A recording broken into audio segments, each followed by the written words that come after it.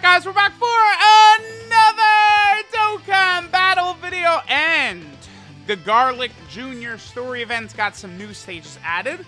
And sure enough, it does appear to be uh, stages for the story event, or like the, the uh, filler arc, right?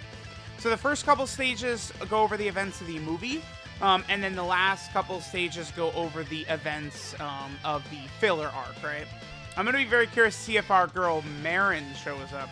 But yeah, Piccolo does indeed awaken into a Krillin and Piccolo. This unit is actually pretty goddamn good on the Heavenly Events category team. Um, I think it's a good way to design free-to-play units, just make them like gods, but then like restrict them maybe to like one type of team. Uh, I think works pretty well. Interesting that they don't show it here in the story event, but um, there's two Awakening medals, this Piccolo medal and the Garlic Jr. medal. Um, you're gonna need those to awaken the new LR, uh, the summonable LR Goku and Piccolo as well. Um, all right, so let's go ahead and knock out these uh, stages here. Um, the new stages here for the Garlic uh, Junior story event, uh, and we will uh, move on. Um, all right, so again, this is, I mean, probably not the greatest idea they had for a filler arc. Yeah, I, yeah.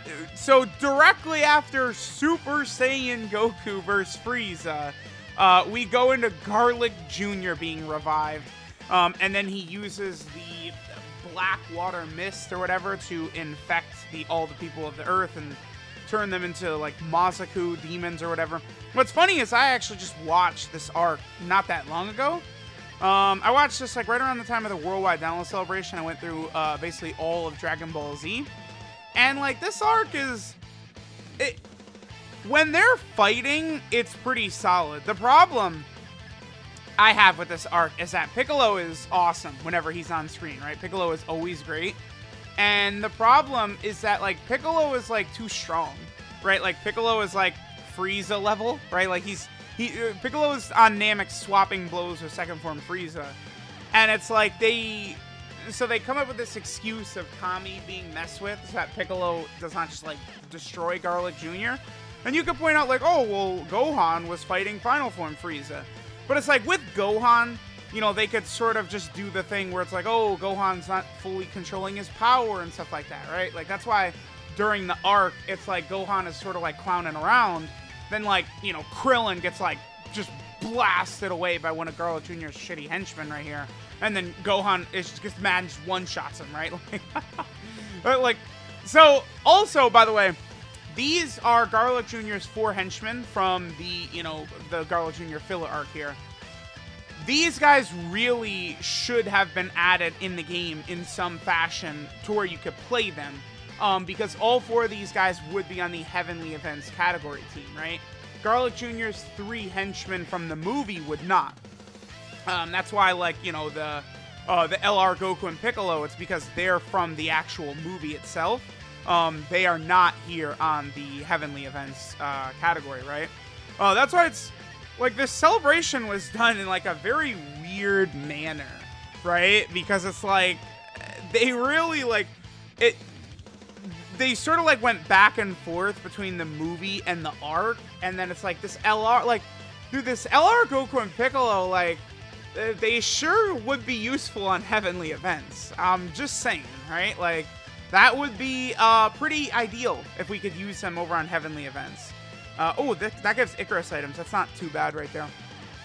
Um, again, we're, we're going to keep going. Uh, I, I've told this story before, but I always do like to record these story events. I've always been like the only one to do this. That's because when I first started playing Dokkan, right? And like, you know, I was like a global player. I was watching like Rhyme videos, D-Free videos, stuff like that and it's like none of these fuckers would ever like like you know a bunch of new stuff would drop in the game and like i was curious to see like oh like what's in the story event? Like the reason uh, i intentionally don't skip these cutscenes. I do that on purpose because i want to see what's being shown here right?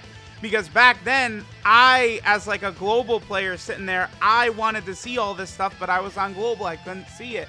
So the reason I record all the story events and stuff like that is uh, for that, right? And that's why, again, because like I've, I've seen people like sort of being like, oh, truth is so stupid. He doesn't even know to turn the scenario off. It's like, well, no, Dumbo. I'm, I'm intentionally leaving the scenario on. I want to show that, right? And, you know, this the way I do things has been proven correct before because uh, when they went in and changed the, um, it was like the story assets. Remember when the uh, last Tournament of Power event first came out? They just used like some random Super Saiyan Goku and Frieza render from like Namek or something like that. But then after they introduced LR Goku and Frieza into the game, they went into the story event and actually replaced them, right?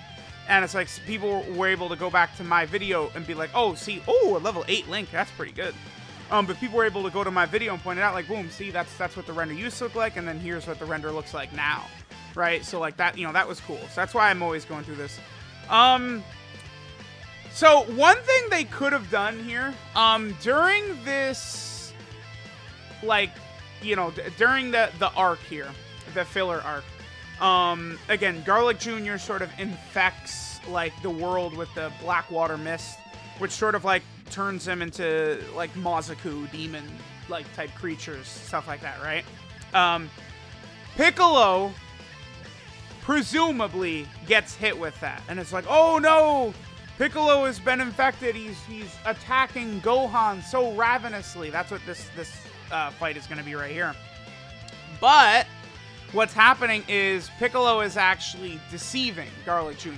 and only pretending to be under the effects. I guess Piccolo as an Namekian is immune to the Blackwater mist or whatever like that, right?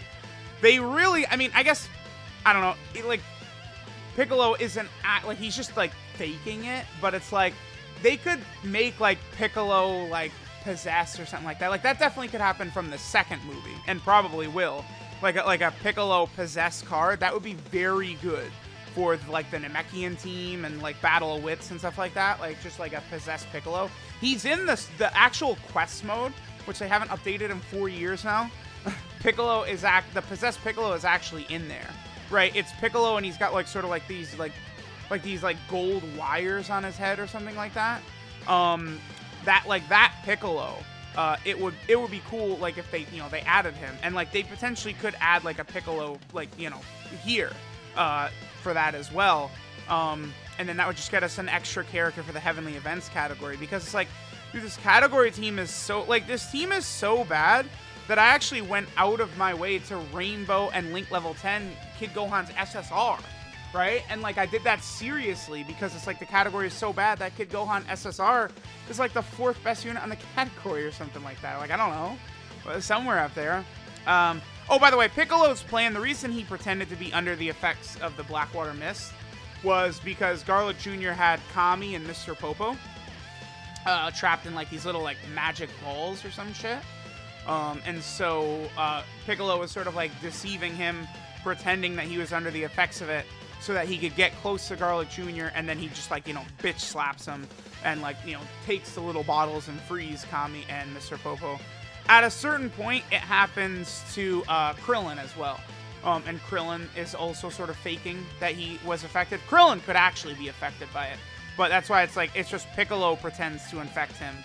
Um, all right, so this is the point of the I believe the like the the arc where the Makyo star sort of becomes a thing. This is the reason Gohan is on planetary destruction, by the way, the category. Um, because Gohan destroys the Makyo star. By the way, Gohan's inclusion on planetary destruction is really big because that basically is the movie boss team, right? Movie boss slash planetary destruction. And Gohan is amazing on that team. Um, but the Makyo star it gives all these dudes like a massive power buff. So like these two henchmen right here, I, I don't. I, am gonna have to talk to Goresh about what their names are in Japanese. I guess I could probably look it up myself. Um, what these characters' names are in Japanese, but I know in in the dub they call them the Spice Boys. Like I believe the one with the Super Saiyan Goku hair, I believe that's Salt. Um, that one right there, and then this other dude is Vinegar. Um, they get buff um, by the Makyo Star. So like they almost could not only have just like salt and vinegar, but like a full power version. They could also create a demon category as well. Um, and I think like if they would do that, right? Like so like if they would create a demon category, like you know you could get like uh, all the Piccolos on there, Demon King Piccolo. You know maybe like Boo Piccolo could get on there, Garlic Jr. All of his henchmen, right? So like you could actually like you know be creating like because a demon category is something I feel like could work, um, and is a category that probably should exist. I don't know. I guess. I, I guess us y'all could let me know, but I, I, I believe so. All right, let me take a look at what these uh, the names are for them. So yeah, there's salt, spice, vinegar, and mustard. Uh, salt known as Zold. So pretty much just the same thing. Then spice. Oh no no no no no. Okay, the dude with the Super Saiyan Goku hair. Salt is the the little red dude. The dude with the Super Saiyan Goku hair, he's just called Spice. Known as Gasu in the original Japanese version. Okay. Then there's Vinegar, who's Vinegar in the Japanese version, okay? And then Mustard, known as Tard in the original Japanese version, okay?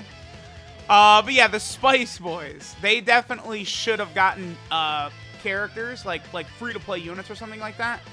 The main reason we really would want that, though, again, is a buff for the, um, the Heavenly Events category, right? All right, so I think this is the last stage right here. This will also get us uh, additional um, Awakening medals right here. I think I'm going to go ahead and equip the uh, Vegeta and Bra driving one right here so we can go ahead and get some extra drops.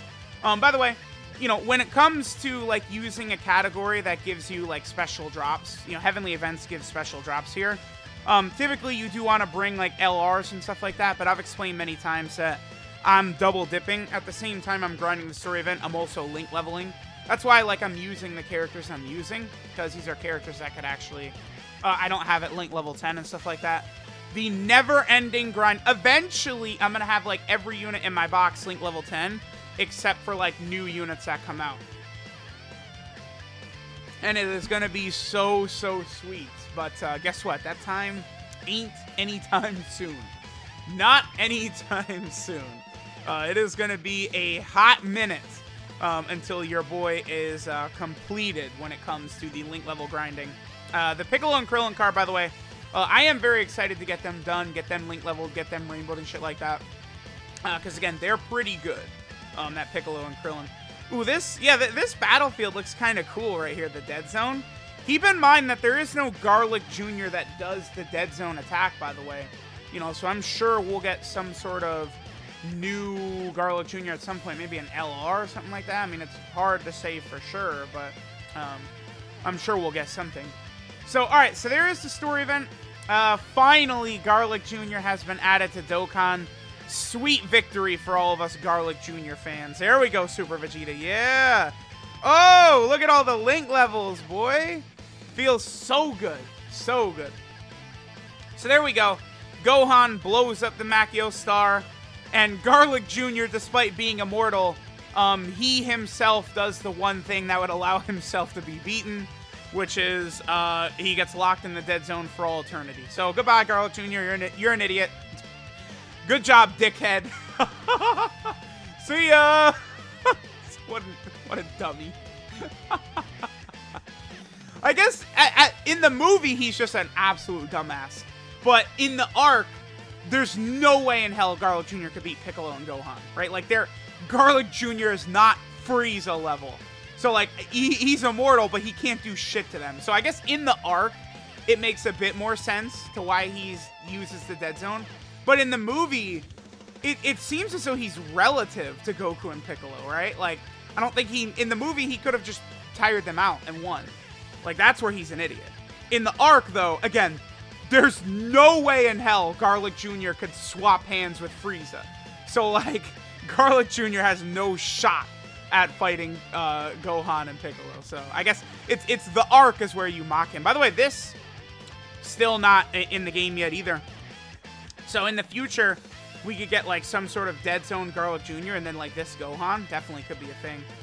Um, alright, so I'm going to go ahead and grind up the medals here um, for the Piccolo. Let's go ahead and rainbow the Piccolo, the SSR Piccolo and Krillin. Um, and then I will come back in one second um, when we have all of the medals, and we will go ahead and Dokkan Awaken our boy Piccolo.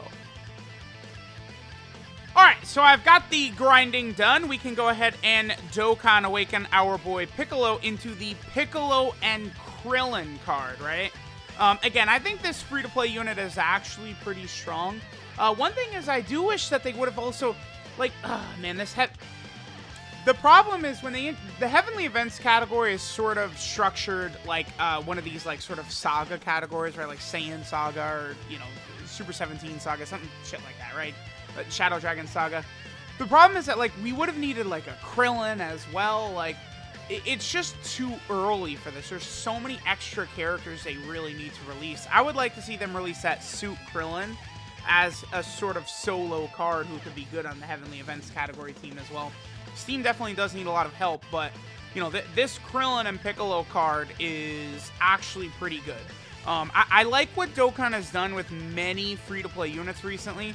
They're doing a good job of making a lot of these units actually pretty relevant, right?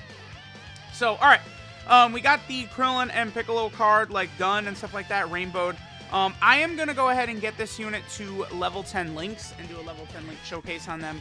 Again, I actually do like them quite a bit. I think they're very good on the Heavenly Events category team. So, alright, that does it for the Garlic Jr. Story event. Thanks, guys, for watching, and I'll catch you guys next time.